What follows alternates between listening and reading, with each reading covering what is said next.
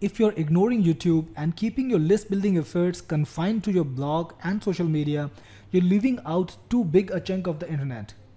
You can use your channel to get people on an opt-in form using call to actions and have a great list building resource working for you. Of course, you will need to create relevant and compelling content to really make it worthwhile. But if that seems like a lot of effort to you, you can use YouTube's advertising program to create and show ads on other people's channels in your niche, grabbing leads from the views that they get.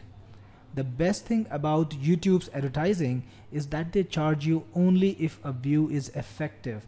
That is, the targeted person watches at least a few seconds of your ad.